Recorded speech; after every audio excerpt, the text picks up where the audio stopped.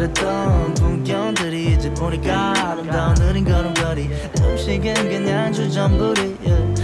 여유 있으면 더 충분히 행복해 미소가 지어져 yeah. 오늘은 한편의 동화를 썼음 해 풍선을 타고 난 날아올라 yeah. uh -huh. 풍선을 타고 난날아